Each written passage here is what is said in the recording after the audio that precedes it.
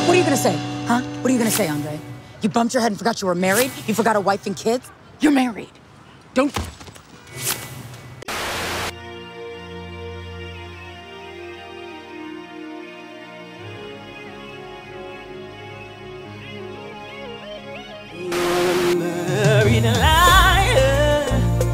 There's no truth in what you say. You have a